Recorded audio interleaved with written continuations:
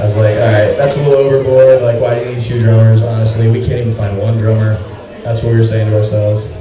And uh, so I'm just gonna laugh at myself tonight and have three drummers. Cause why not? These boys have been good to us, to me and Eric, and to, and to the rest of the boys.